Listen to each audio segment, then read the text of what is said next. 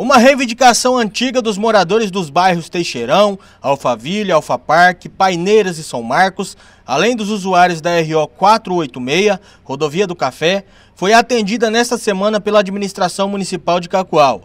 A localidade é bem conhecida pelo grande índice de acidentes e crimes de roubo. Devido a isso, o que era promessa em outras administrações agora se tornou realidade.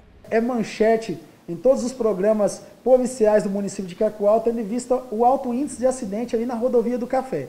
Então o que, que nós estamos fazendo? Diante disso, nós estamos iluminando parte da rodovia, uma parte já tinha iluminação, que era o começo da rodovia, e alguns, algumas pessoas ali, moradores mesmo, instalaram uma parte da iluminação, e outra, mais de 30 pontos, a Prefeitura de Cacoal está nesse momento finalizando aquele trabalho da rodovia do Café. O projeto para a implantação da iluminação pública na rodovia do Café aqui no município de Cacoal já era esperada desde a gestão passada e no dia de hoje está se concretizando.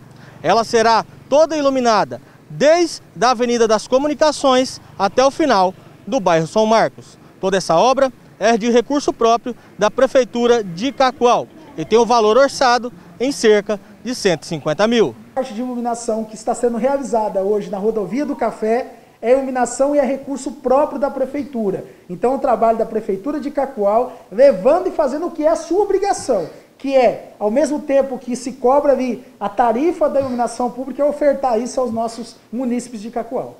Os moradores da rodovia e comerciantes ficaram surpresos com a obra realizada, porque após tantas promessas, o sonho de um local iluminado se concretizou.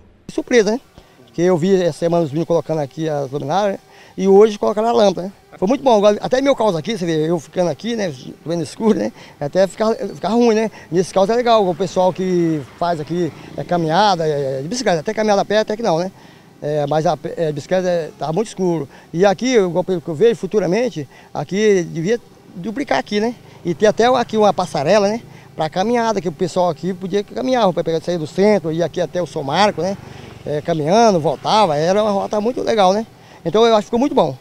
Ainda de acordo com o prefeito, outros dois pontos da cidade serão contemplados com a iluminação pública. Lá no bairro, o, o, se diz distrito também, Canelinha, que é um bairro ali na linha 9, que é um bairro afastado da cidade, nós iremos também fazer toda a parte de iluminação pública daquele bairro. O bairro Planalto também, nós estávamos mais de 20 pontos de iluminação pública e nós estamos avançando justamente aonde? Aonde não se tem iluminação pública para atender os contribuintes e eles pagam ali por esse trabalho, por esse serviço.